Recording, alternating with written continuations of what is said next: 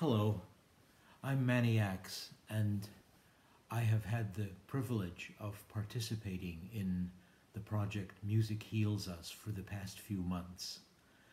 I'm so grateful to Molly Carr and everyone associated with the project for making this possible, for making it possible for musicians to possibly help the spirits of some of the people most affected by this pandemic.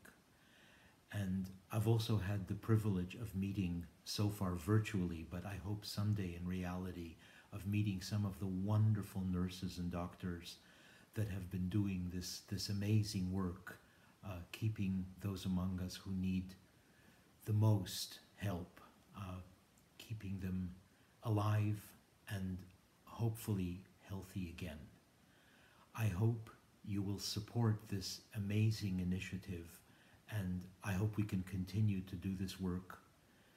Uh, I know that everyone involved feels privileged to be part of it.